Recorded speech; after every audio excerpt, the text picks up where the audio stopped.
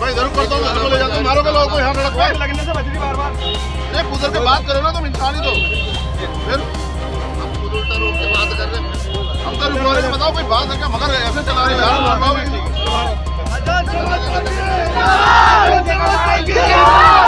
Samajwadi party के सांसद शफीकुर रहमान बर्ग के निधन के बाद भीम आर्मी चीफ चंद्रशेखर आज़ाद संभल में उनके अंतिम दर्शन करने के लिए पहुँचे, लेकिन पुलिस ने उन्हें यहाँ पर नज़र बंद कर दिया।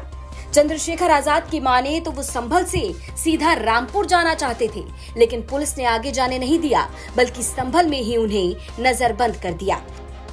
जब पुलिस ने चंद्रशेखर आज़ाद को रोका तो भीम आर्मी के कार्यकर्ताओं ने नारेबाजी शुरू कर दी और चंद्रशेखर आज़ाद और पुलिस कर्मियों के बीच सड़क पर ही झड़प शुरू हो गई।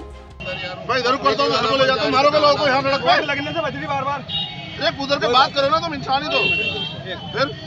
हम खुद उल्टा रोक के बात कर रहे हैं। हम तो रुकवा रहे हैं बताओ कोई बात है क्या? मगर ऐसे चला रहे यार रुकवाओ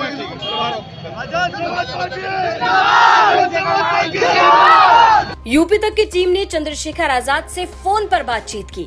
चंद्रशेखर आज़ाद ने यूपी तक को बताया कि वो एक 17 साल के दलित समाज के युवक की मौत के मामले में रामपुर जाना चाहते थे। बतौर चंद्रशेखर, रामपुर में पुलिस की गोली से युवक की हत्या का मामला है।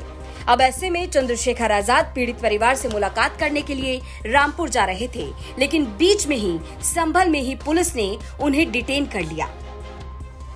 चंद्रशेखर आज़ाद ने यूपी तक को फ़ोन पर बताया कि उन्होंने पुलिस से आग्रह किया कि हमें कम लोगों के साथ ही जाने की इजाज़त दे दी जाए, लेकिन पुलिस ने आगे जाने नहीं दिया।